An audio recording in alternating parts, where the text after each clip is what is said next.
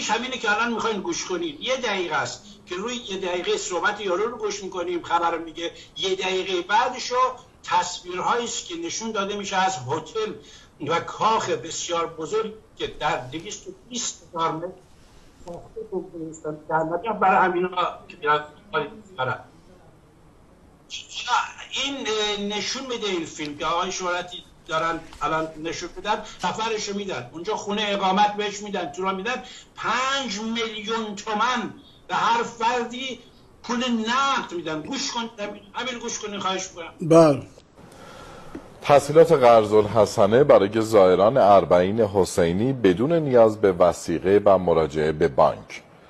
وزیر امور اقتصادی و دارایی گفت تحصیلاتی تا سقف 5 میلیون تومان برای حضور زمینی زائران اربعین حسینی پیش بینی شده است به گفته آقای خاندوزی این وام چهار درصدی با اقساط یک ساله به همه زائران سرپرست خانواری که یاران دریافت می کنند تعلق می گیرد.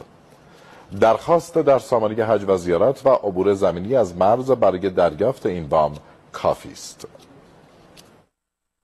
نیاز به حضور به هیچ کدام از شعب بانک های کشور وجود نداره جناب هیدری کافی است که در سامانه سما همون سامانه ثبت نام حج و زیارت که زوار عزیز مراجعه می‌کنن اونجا تایید بکنن که می‌خوان از تسهیلات قرض الحسنه هم استفاده بکنن به صورت خودکار.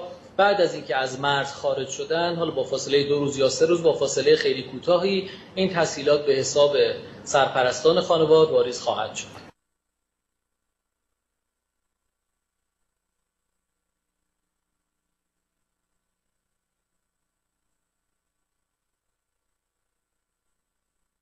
این صحنی که آقای شرفشاهی می‌بینید این همون جایی که من بارها در مورد صحبت کردم در نجف ساخته شده روی دویست و بیس هزار متر مربع.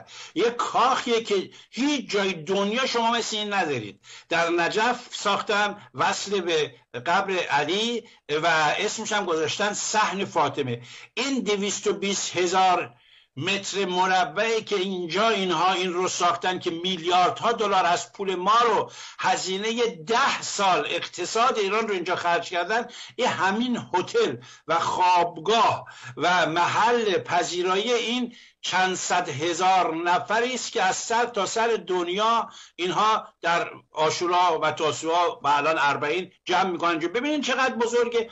اصلا آقای شرفشاهی غیر قابل تصور شما در لاس وگاس کازینوهای بزرگی دارید که بزرگترینش آریاس که با پول ایران ساخته شده. حالا اون خرج دیلا شده بگذاریم. یا کازینوهای دیگه های شرفشاهی. یک پنجاهم این صحنه فاطمه نیستن که با پولای ما ساخته شده در تأیید فرمایشات شما که گفتید برای یک تازی که جد علی خامنه ای هستن اینا برای نیاکان خودشون که تو دعوای خانوادگی کشته شدن اینجور از ما هزینه می‌گیرن و من همونطور که شما فرمودید منم تاکید می‌کنم ای مردم سرشور به گفته پادشاهی ایران ای اکثریت خاموش ذلت تا کی بدبختا بیچارگی تا کی. یهودی ها تا به امروز نازی ها رو نبخشیدن و نه فراموش کردن در صد تا سر دنیا